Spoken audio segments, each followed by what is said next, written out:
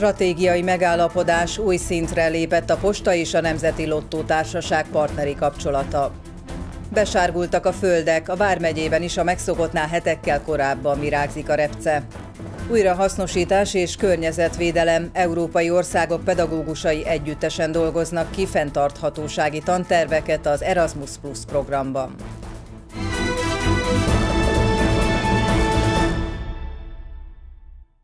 Stratégiai megállapodást írt alá a Lottó Társaság elnök vezérigazgatója és a Posta Vállalat elnök vezérigazgatója. A Kölcsei Televízió híradóját látják. Köszöntöm Önöket! Ennek része a helyi vállalkozások versenyképességének támogatása, a sorsjegy értékesítés technológiai fejlesztése, valamint egy modernebb szolgáltatási rendszer és arculat kialakítása is. A megállapodás aláírására az elsőként Nyíregyházán megnyílt postalottózó átadásán került sor. 2025 év végéig országszerte 20 ilyen új típusú értékesítőhely kezdheti meg működését a legforgalmasabb vidéki postákon.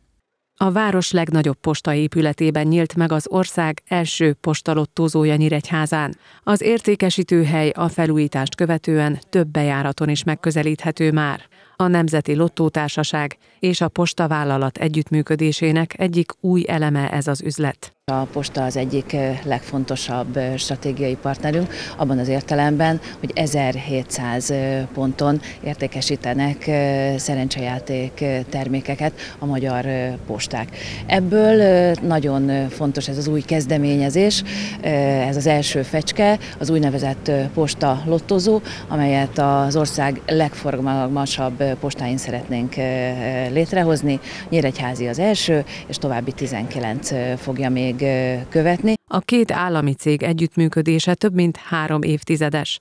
A partnerség megújításáról egy stratégiai megállapodást is aláírtak a felek Nyíregyházán. Ez a megállapodás arról szól, hogy azokat a szolgáltatásokat, amit eddig külön nyújtottunk, és a nem a közös megállapodásunknak volt a része, ezeket is valamilyen módon próbáljuk összefésülni, és az a tapasztalat, ami a két vállalat mögött van, az közösen kamatoztassa azt a tudást, amit eh, az elmúlt években megszerzett. Nekem meggyőződésem, hogy ez a két állami vállalat, mert mind a ketten állami vállalat vagyunk, eh, a megszerzett tapasztalatok alapján egy nagyon komoly szintű és ténylegesen ügyfelek számára egy 21. századi szolgáltatást nyújtó egységet tud képezni, és ez a célunk, hogy még magasabbra emeljük a egyébként már meglévő és működő kapcsolatunkat. A két állami tulajdonú cég tervei alapján idén további kilenc új értékesítő hely nyílik meg vidéki postákon, a jövő év végéig pedig összesen 20 ilyen létesítményt alakítanak ki országszerte. Már Szabolcs-Szatmár-berekben is virágzik a repce, az állomány állapota országszerte vegyes képet mutat. Azokon az ültetvényeken jobb a helyzet, ahol a tavaly őszi vetés idején több eső hullott. Az asszály miatt azonban terméskieséssel számolnak a gazdák, a tonnánkénti ár pedig egyelőre alul marad a tavainál. Már gyűjtik a repce nektárját a méhek. Ez a Gyulatanyán található ültetvény a hét elején borult virágba, hetekkel korábban a megszokottnál. A két és fél hektáros területre tavaly szeptember közepén 165 fajta repcét vetettek. Az állomány állapota ugyan országszerte vegyes képet mutat, itt azonban kifejezetten jónak mondható. Sajátot nem illik dicsérni, de csak a cégeknek a véleményét mondom, de ez az én véleményem is. Szóval egyöntetően az a vélemény, hogy jónak értékelik, jónak értékelik, tehát fejlettségre. A repce múlt hét elejétől kezdett itt virágozni, van, ahol sokkal hamarabb, de az nem is baj, hogy nem virágzott hamarabb, mivel a méhek most kezdtek el dolgozni, ugyanis, hogyha a főhajtás nem termékenyül meg, akkor az mínusz 10 mázsát jelent a repce termésébe. Ugye van egy olyan mondás, hogy a repce ameddig virágzik, annyi tonna, tehát remélem, hogy 5 hétig fog virágozni, tehát hogy 5 tonnát céloztunk meg. Ez nem nagy képűség, de remélem, hogy meg fogjuk csinálni ezt a termés mennyiséget. A növény sok figyelmet és hozzáértést igényel, a csapadék mennyisége pedig természetesen a repcénél is kulcskérdés. A vetésnél elengedhetetlen a sok eső, amiből tavaly szeptemberben kijutott, mostanra azonban már akkora az aszály, hogy minden kultúra megsínli azt. A gazdák pedig korán sem csak az időjárás okozta károktól tarthatnak. A többi növényekhez képest még most olyan 150-160 ezer körül, hogy így hallom az ára. Szemben ugye a kukoricára is 5000, most hallottam azt, hogy már szerződést kötnek 5200 forintra, tehát ez olyan, olyan övön aluli ütés, hogy, hogy szóval nem is tudom, hogy, hogy mi lesz ugye ez az ukrán behozatal, de ez nem csak Magyarországot, hanem a környező országokat is eléggé padlóra küldte a gazdákat. Sajnos azt kell elmondani, hogy, hogy egy dologban szinte biztos vagyok benne, hogy annyi csapadékunk nem lesz, mint a tavalyi év, tavalyi évben, tehát hogy kell egy ilyen termés kieséssel számolni sajnos, de ez sajnos nem csak a repcére, hanem minden kultúrára vonatkozni fog. A repce aratás utáni ára sok tényezőtől függ még. Nemzetközi elemzők szerint a futó termelési időszakban az EU-ban 8%-os terméskiesés várható. Egyes értékelések szerint az olajmag tonnánkénti ára akár 20-30 euróval is emelkedhet. Hét nemzet diákjai és pedagógusai látogattak el a Nyíregyházi Városházára. A fiatalok egy Erasmus mobilitási program keretében érkeztek a Vármegye székhelyre. A látogatás célja, hogy diákok és a tanárok tapasztalatot cseréljenek a környezetszennyezés és klímavédelem kérdéseit illetően. A Nyíregyházi Szakképzési Centrum Vásárhelyi Pál Technikum két évvel ezelőtt nyert mobilitási programot Zero Waste címmel az Erasmus Pluson belül.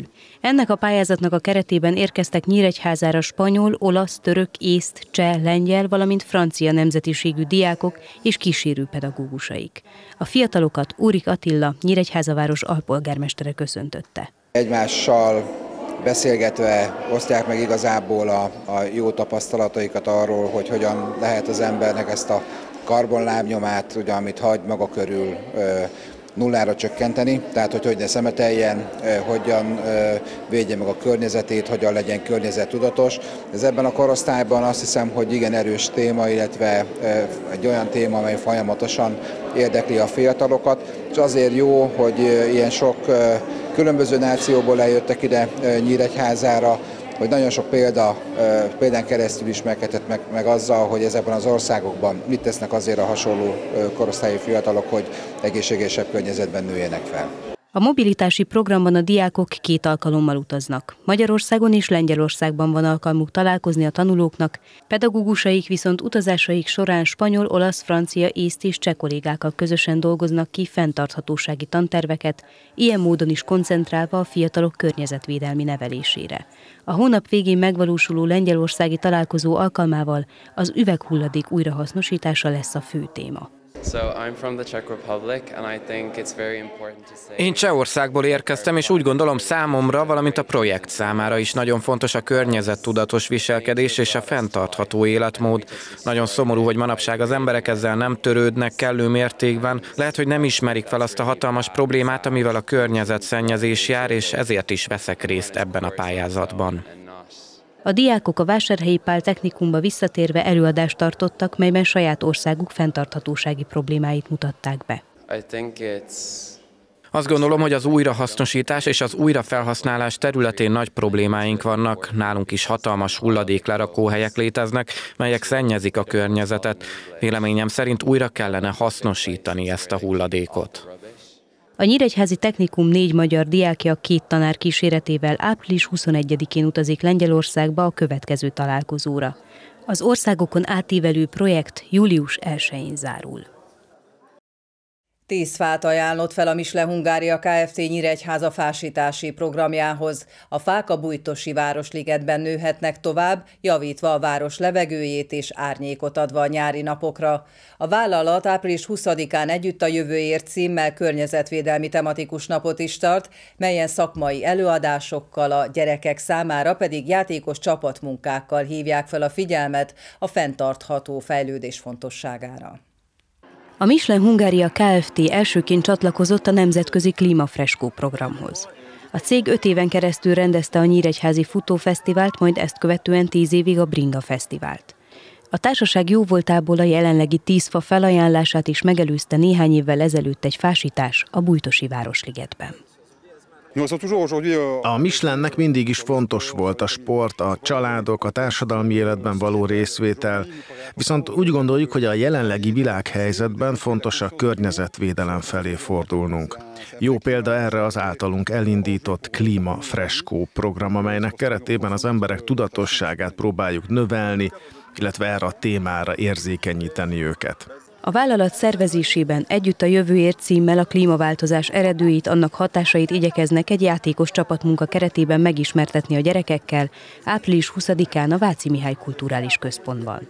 A program több részből áll, a legügyesebbek pedig díjat vihetnek haza. Euh, Három része lesz ennek az eseménynek. Egyrészt különböző előadások, kerekasztal beszélgetések, workshopok és játékok lesznek. Különféle közreműködők fogják megosztani velünk tapasztalataikat, illetve a szaktudásukat a fenntartható fejlődés témájában. Olyan témákat érintenek majd, mint a klímaváltozás, a vízfelhasználás, a fenntartható divat. Másrészt különböző kiállító standok lesznek, civil szervezetek és vállalatok fognak kiállítani ezzel kapcsolatos témában. Harmadik rész a klímafreskó. Korábban megpályáztattuk az iskolákat, egy freskót kellett készíteniük. Több mint tíz iskola vett részt ezen a pályázaton. A szakmai zsűri az öt legjobb freskó prezentációját fogja értékelni a rendezvényen. Lesz egy kvíz is, és az első három legjobban válaszoló iskola díjat nyer majd. Kovács Ferenc, Nyíregyháza polgármestere elmondta, hogy örül a jó kapcsolatnak és a Michelin társadalmi szerepvállalásának a városban. A klímafreskó és a mostani fásítás is példája a tenni akarásnak. Most pedig a klímavédelem a fő program, és hát az idén is sok helyen lesz, ezt most fejből nem is tudom elsorolni, a, folytatódik a polgármesteri fásítási program.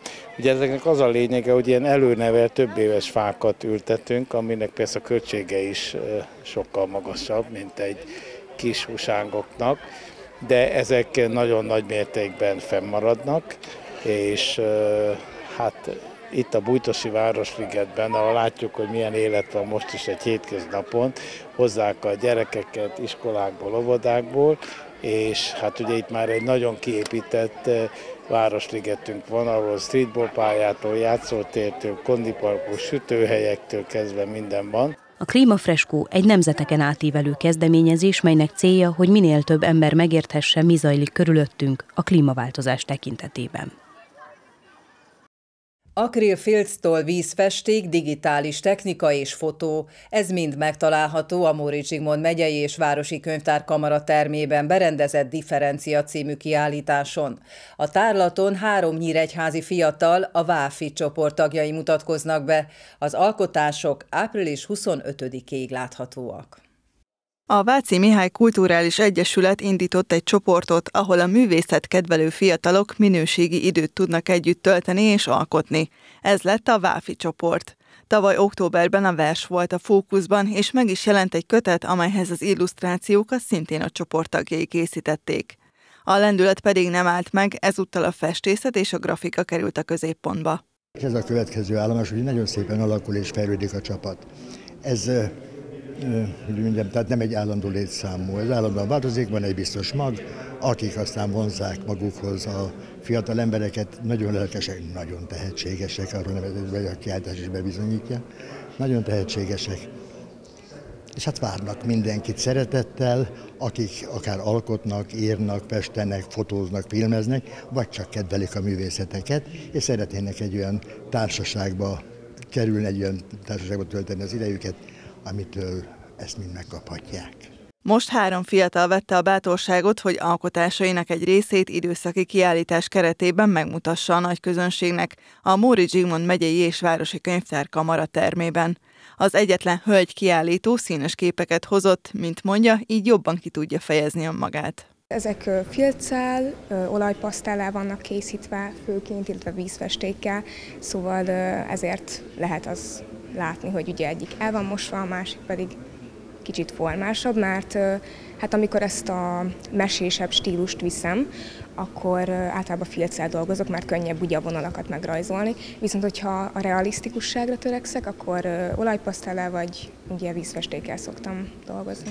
A színek mellett szinte teljesen fekete-fehér alkotásokat is lehet látni a kiállításon, de ezek már más alkotó tollából származnak. Viszonylag régebbi alkotásokról van szó. Ezek között van olyan, ami 10-15 éves, hogyha jól számoltam. Fields, uh, Fields-tól, tehát toll, ilyen alkotásokról beszélünk. Így mostanában inkább festek, tehát pont ezért gondoltam azt, hogy ezek végre most akkor itt az ideje, hogy, hogy ezek is napvirágot lássanak. Van közöttük olyan, ami, ami, tehát nyilván ezek lenyomatok, tehát van olyan, ami már nincs meg az eredeti példánya, épp ezért lenyomatok, de digitálisan ugye megvannak, tehát azért letisztítottam őket, úgymond. Tehát toll, tollrajzok igazából. A differencia címet kapott tárlat harmadik kiállítója, a Kölcsei Televízió munkatársa. Engem a rajzfilmek, illetve a videójátékok azok, amik nagyon ihletnek. Általában van egy ilyen vibrás színviláguk, amik valahogy rám is hatnak.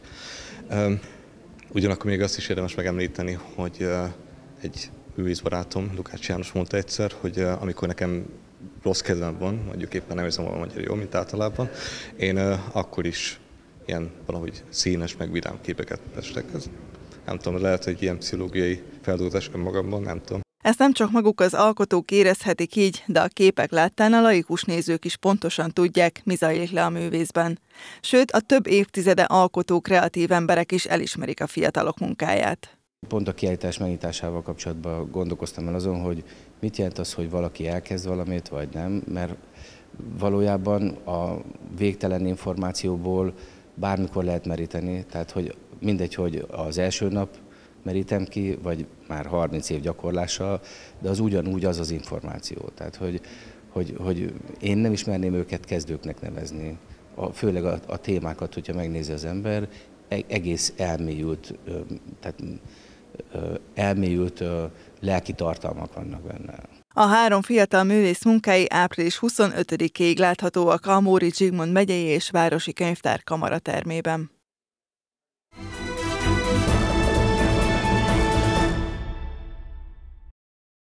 Kettős vereséggel maradt alul a sportdarás MAF csapatával szemben az amatőr NB1 felsőházi rájátszásban a Nyíregyházi kosársuli. A második mérkőzésen a vendégek 74-53-ra nyertek a Szent Imre csarnokában. Farkasinszki Gyuláni együttese a Pécs 2 Zsíros Akadémia kőbánya párharc vesztesével játszik a folytatásban. A negyedik helyen fejezte be az alapszakaszt az amatőr NB1 fehér csoportjában a Nyíregyházi kosársuli. Farkasinszki Gyuláni együttese tíz győzelem mellett hat alkalommal szenvedett vereséget.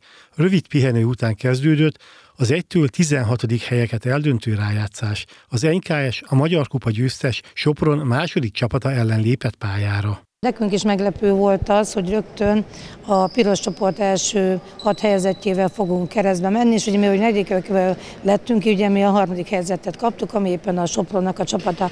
De most ugye azt azért tudni kell, hogy ebbe a Sopronba azért, mivel hogy egy nemzeti kiemelt akadémiáról beszélünk, ugye itt azért több helyről érkeznek a játékosok, és mindenhonnan a kimagasló jó képességű játékosokat viszi el a Sopron. Ráadásul még ugye a, a, a 3x3 válogatott miatt még ugye NB1 szünet is van, ez azt jelenti, hogy azok a játékosok, akik az NB1 A-ban kevesebbet töltenek pályán játékpercben, azokat is ugye játszhatják, ami, ami valamilyen szinten az ő szempontjunkból ez egy, ez egy indokolt dolog, mert ugye föl kell valahol hozni a játékosokat. Nekünk ez per pillanat kellemetlenül jött, mert olyan játékosok jöttek velünk szembe, akik akár az A csapatban 20 perceket is pályán töltenek, de ha még nem is töltenek 20 percet a pályán, de egy olyan közegben edzenek, és egy olyan edzésmunkát végeznek el, amit nem fogunk tudni elvégezni, mert a, mi, a csapatunk nem erre van per pillanat kitalálva. A két mérkőzésen igazolódott is a papírforma. Sopronban 90-41-re, Nyíregyházán pedig 74-53-ra nyert a spordalás MAFC. Az első mérkőzés az én úgy gondolom, hogy nem igazán volt az, amire mi szerettünk volna, tehát egy kicsikét azért az eladott labdák tekintetében voltak gondjaink és problémáink, rengeteg kihagyott helyzet volt, ami ugye most is meglátszott majd a második mérkőzésen, mert a második félidőre elfáradtunk, itt már pontatlanabbak lettünk, nem, nem voltak meg azok a koncentrációk, nem úgy fejeztük be a támadásainkat, nem igazán oda mentek azok a passzok, ahova menni kellett volna. Én a, itt a mai mérkőzés, tehát a második mérkőzés első félidője szerintem az teljesen szuper volt, egy olyan, olyan extázisban kosárlabdáztak a lányok, és egy olyan akarattal, lendülettel, ami példaértékű lehet a következő mérkőzésekre. Az, hogy kevesen vagyunk, sajnos ez egyértelműen látszott, tehát az ellenfél azért, azért tudott cserélni, nekünk viszont azért, azért igencsak kevés vagy szűk rotációval kellett megoldanunk ezt az egészet, de hát nem várható el attól a kadettkorú játékostól, aki, aki most mit tudom én, első NBA egyes mérkőzésen lejött a kispadra, hogy felcserélem, és ő majd egy olyan teljesítményt fog hozni, mint azok a játékosok, ugye, akik itt a kiemelt akadémián kosárlabdáznak. Én ettől függetlenül nagyon büszke vagyok rájuk. Nagyon örülök neki, hogy ma egy ilyen mérkőzést játszottunk, a nyíregyháziak a következő körben a Pécs 2 Zsíros Akadémia kőbánya párharc vesztesével játszanak majd a 9-16. hely valamelyikének megszerzéséért. Híradónk végén nézzük főbb híreinket ismét néhány mondatban. Stratégiai megállapodást írtak alá Nyíregyházán a Magyar Posta ZRT és a Szerencsejáték ZRT vezetői. A két állami cég ezzel a több mint 30 éves együttműködését újította meg. Az eseményen megnyitották az ország első postalottózóját is. 2025 végéig ország szerte 20 ilyen új típusú értékesítőhely kezdheti meg működését a legforgalmasabb vidéki postákon. A megszokottnál hetekkel korábban virágzik a repce, az állomány állapota szabolcs berekben is vegyes képet mutat, az asszály miatt terméskieséssel is számolnak a gazdák. A helyzetet rontja, hogy a repce tonnánkénti árát az ukrán terménybehozatal is lenyomja. A Nyíregyházi Városházán köszöntötték az Erasmus Plus mobilitási programban résztvevő külföldi diákokat. A 32 diák és 16 tanár a fenntarthatóság és a nulla hulladék előállítására való törekvések lehetséges módjairól beszélgetett. A Vásárhelyi Pál Technikum négy magyar diákja és tanáraik április 21-én utaznak Lengyelországba a következő találkozóra.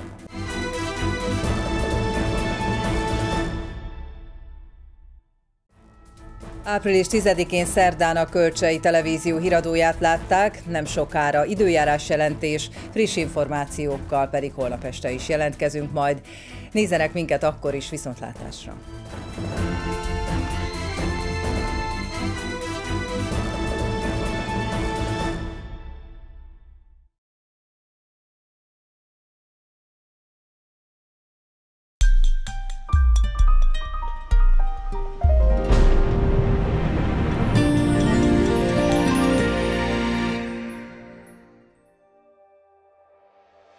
Csütörtökön felszakadozik a felhőzet, sok napsütés várható, estére nagy részt kiderül az ég, csapadék nem lesz. Az északi szelet többnyire élénk széllökések kísérik, majd az észak-keleti tája kivételével estére mérséklődik a légmozgás. Napközben 22-24 fokot mérhetünk.